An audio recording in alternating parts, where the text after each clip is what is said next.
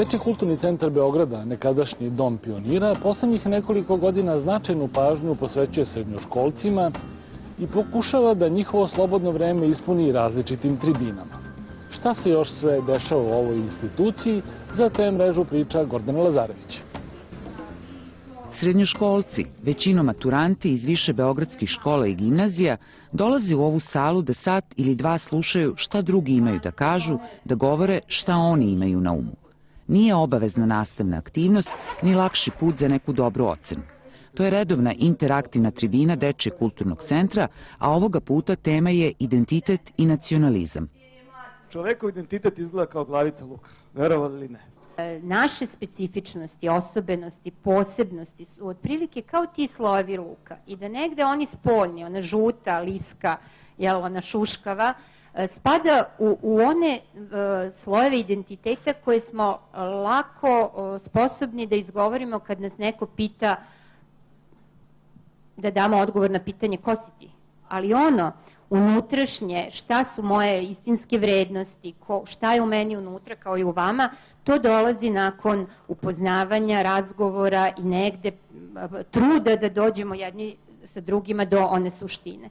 Pošto su pažljivo saslušali šta psiholog govori o identitetu, učesnici tribine brzo su prešli na priču o nacionalnom identitetu, a onda i povezanim pojavama, ideologijama, emocijama i tu se razgovor razbuktao. Patriotizam to je često zlopotrebljeno zato što patrioti se e, nazivaju oni svi koji, kako kažem, branu svoju zemlju i na taj način čine zločine, čine, ne znam, uh, tako ugrožavaju druge narode i druge, kako kažem, nacionalnosti. Ja šta je da postavim pitanje da li oni prave razliku među patriotizma, nacionalizma i šovinizma i fašizma, tako da... Bravo, da li ti, da li ti znaš da napraviš razliku? Pa nekako ova dva su ljubav prema, znači ovo je mržnja prema drugačijem. Ne možemo svi da imamo isti stav prema Hrvatima, recimo, kao i prema Slovencima. A to što sa njima smo ratovali i bilo je svačega, zavisi, neki od njih mrze nas, neki od nas mrze njih, tako će uvijek biti, ono, neće se nikad to promeniti. Ja neću moći da zaboravim, zato što je, su moji otac, stric i deda i baba bili u Oluji i jedva su izvukli živu glavu i to je, recimo, moj stav. Ali to će možda moja deca zaboraviti ili možda ja moj deci verovatno neću preneti to. E, ne mislim da taj rad treba da se zaboravi, ali da preko toga treba da se pređe iz prostog razloga što ne želim da ja sutra nekog Hrvata, nekog, ne znam, e, Stipea ili ne znam, nekog e, Harisa mrzim ili ne volim ili ne mogu da imam normalan i prirodan odnos s njim samo zato što ne živi u Srbiji, nije, ne živi u Srbiji nije Srbin. Priča o identitetu i nacionalizmu potrajala je više od sat i po, a svako je, kako pravila dobre komunikacije nalažu, doneo svoj zaključak. Niko nije ocenjen ni ponižen. Neki srednjoškolci ovde dolaze redovno, samo inicijativno, dok neke pozivaju njihovi profesori. Ideja je da na tim tribinama e, iznesu svoj stav i svoje mišljenje e, o različitim temama. Dakle, govorili smo i o nasilju, i o huliganstvu, i o turbofolku i prosto nekim interesantnim temama koje se tiču njihovog odrastanja. To su manje više već odrasli ljudi koji ulaze u, u, u ozbiljan život, u ozbiljne vode i pokušavaju, odnosno počinju da razmišljaju o ozbiljnim temama. Odabir tema e, nije, za ove tribine nije takav da mi njima učinimo e, stvari zabavnim. Naša ideja je da mi od njih napravimo ozbiljno zrelje ljude koji će razgovarati koji će dati svoje argumente i koji će naučiti da slušaju one koji misle drugačije.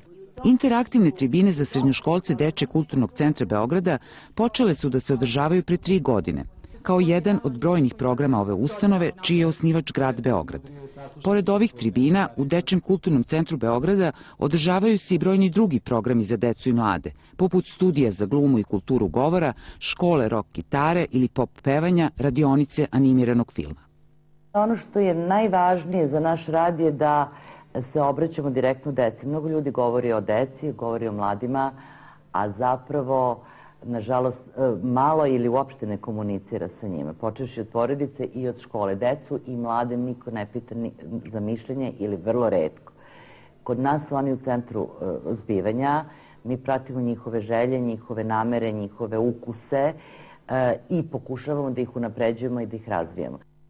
Kada je pre 60 godina ova institucija osnovana, zvala se Dom pionira. Nalazila se u Knez Mihajlovoj ulici do 68. godine, kada je u Takovskoj izgrađen novi objekat. Tu su održavani programi kao što su Susreti četvrtkom, Danas su naši gosti, Pronicljivi i radoznali, kao i Kekec, Jugoslovenski filmski festival za decu.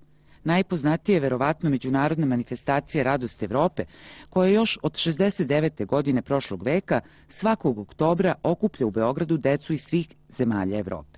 Stvaramo e, ljude e, koji će sutra, sutra biti posetioci Bitefa, pozorišta, oktobarskog salona ili tako neke manifestacije.